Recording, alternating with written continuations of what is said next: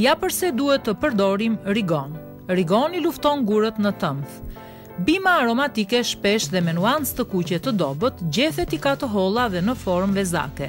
Kërcelli i rigonit ka gjithmonë ngjyrë të gjelbërt. Vetitë e rigonit në kurimin e sëmundjeve e kanë bazën tek përbërësit e tij.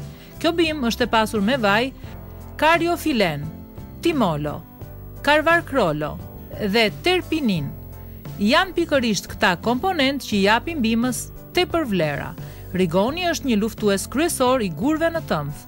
Pikërisht për këtë arsye rekomandohet përdorimi i rigonit gjatë konsumimit konsumimit të ushqimeve të ndryshme.